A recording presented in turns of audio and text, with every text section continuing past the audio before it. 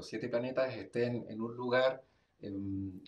That the seven planets are in a small area of the sky and all visible is something that happens every 400 years. It's very rare.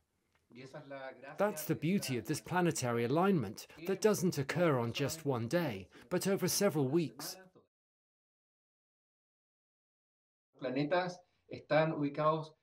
The planets are positioned in what appears to be a straight line in the sky, but we must remember that the planets are not actually close to each other.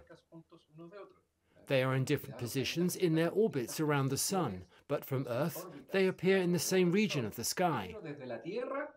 Por nuestra perspectiva que tenemos, los vemos a todos en una misma región del cielo.